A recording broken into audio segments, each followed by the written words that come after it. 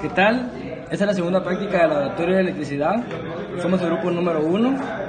En esta práctica encontraremos las ondas sinusoidal con la frecuencia de 10 kHz con un valor promedio de 5 voltios.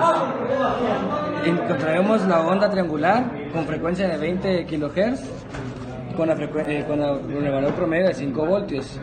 Y encontraremos la onda cuadrada con el valor de, 30 kilo, eh, de frecuencia de 30 kHz con el valor de 5 voltios también.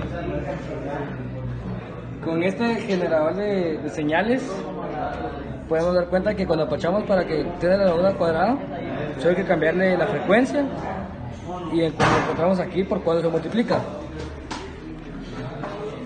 Entonces aquí sale cuadrada. En este caso salía la, la, onda sinusoidal y en este caso salía la onda triangular.